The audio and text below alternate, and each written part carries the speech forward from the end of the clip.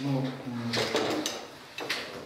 во-первых, я хотел про себя немного рассказать. Меня зовут Улан Адамлиев, я являюсь генеральным директором ОСО Дыхан Плюс. Мы производим трактора Топос, а также занимаемся консалтингом в сельскохозяйственной сфере. И по министерству, я считаю, что министерство необходимо, министерство нужно, потому что у нас все-таки 66 0,3% населения живет в сельской местности, и поэтому министерство нужно. Другой вопрос, как это министерство должно работать, это вызывает очень много нареканий, это уже второй вопрос. Но я ответил, по-моему, да? Да, да. Министерство нужно. Теперь э, я хотел немного рассказать о ситуации. Тут был вопрос о ситуации в, сельской, в сельском хозяйстве. У нас в Казахстане 66 3,3% населения проживает на селе, а, но при этом от ВВП у нас э, сельское хозяйство только 17% дает. Это данные за прошлый год. Хотя в 1996 году сельское хозяйство давало 37% ВВП, то есть падение очень сильное, и тенденции к падению сохраняются. А с чем связана причина основная? Если коротко сказать, там очень комплекс причин, но если коротко сказать, э, чего не хватает фермерам, не хватает техники, технологий и инвестиций, то есть длинных и низкопроцентных ресурсов. Как вот э, сказал представитель министерства, у нас э, финансирование идет в размере 10% от необходимого. Это раз. В общем, от бюджета Кыргызстана в сельское хозяйство выделяется только 4% от всех затрат. Это два. И последствием служит то, что вот микрокредитные финансовые организации, 70% их клиентов это жители села, потому что есть недофинансирование, но финансовые средства необходимы, поэтому они вынуждены брать деньги. Но как исправить ситуацию?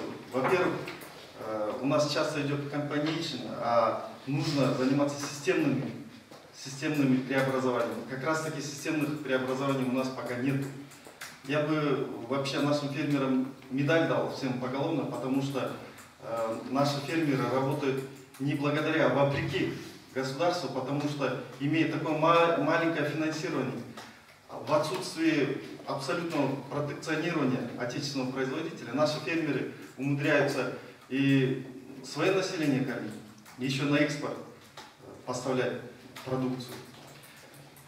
По фонду, я тоже считаю, что вначале по фонду э, были такие декларирования, что фонд будет создаваться для того, чтобы смягчить последствия вхождения в таможенный союз, и в первую очередь для малого и среднего бизнеса, но мы этого не видим.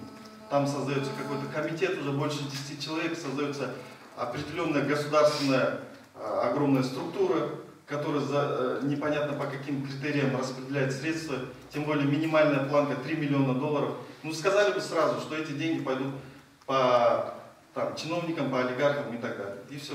Ну, на мой взгляд, компания Coca-Cola только здесь может потянуть такой кредит. Ну, я присутствовал на открытии убойного цеха, который был финансирован из этого фонда.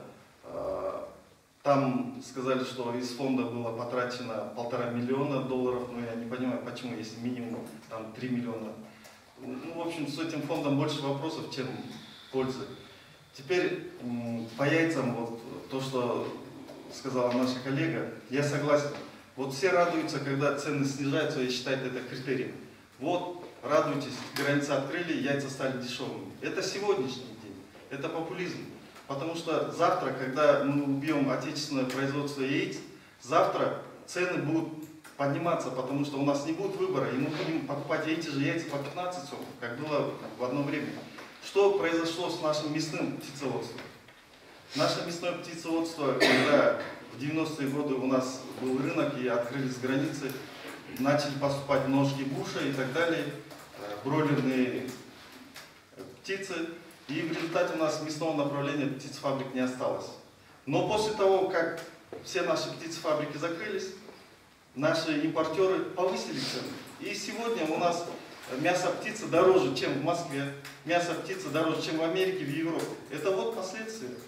Если сегодня за наших птицеводов, которые занимаются производством яиц, государство никак не поможет и не даст поддержку, мы сегодня обанкротим всех птицеводов. Да, сегодня государство отрапортует, вот, радуйтесь, дешевые яйца.